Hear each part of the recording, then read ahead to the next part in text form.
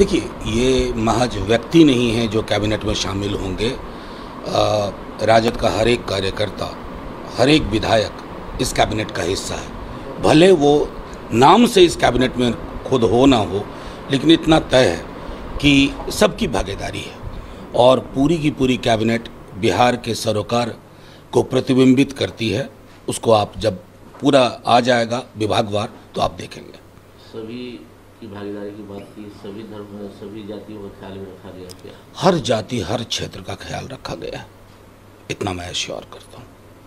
2024 को, को भी ध्यान में रखा गया देखिए 2024 ये जो पूरा महागठबंधन में फिर नीतीश जी आए हैं तो 24 का नक्शा तो काफ़ी हद तक साफ़ है क्या नक्शा साफ़ है मतलब भाजपा को तो यहाँ एक या दो सीट के लिए स्ट्रगल करना पड़ेगा और उनकी चिंता हम समझ सकते हैं।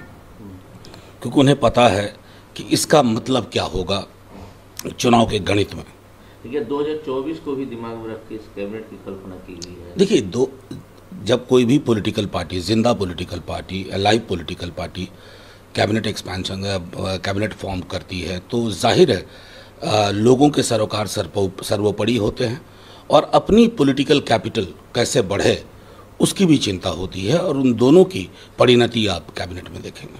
20 लाख वाली बात जो जॉब की थी सीएम ने कल खुले मन से जाने ना दी ये तो कल मुझे लगा कि एक तरफ़ सीएम तेजस्वी जी दोनों जब साथ आए हैं तो 10 लाख के अलावा 20 लाख की बात हुई जो तो ये पूरे देश के लिए नज़ीर होनी चाहिए और ख़ास तौर पर प्रधानमंत्री जी के लिए तो बिल्कुल होना चाहिए क्योंकि कल पूरा देश टकटकी लगाकर उनकी ओर देख रहा था। कि ये दो करोड़ तो छोड़िए, पच्चीस लाख रोज़गार भी अगर प्रतिवर्ष की बात करते तो युवाओं में एक जोश आता, एक एक संदेश जाता कि प्रधानमंत्री जी को हवा हवाई चीज़ों की चिंता के अलावा ज़मीनी चिंता भी है। लेटेस्ट खबरों के लिए देखते रहिए एम न्यूज़ जेड न्यूज़ और ताज़ा अपडेट पाने के लिए चैनल सब्सक्राइब करना ना भूलें।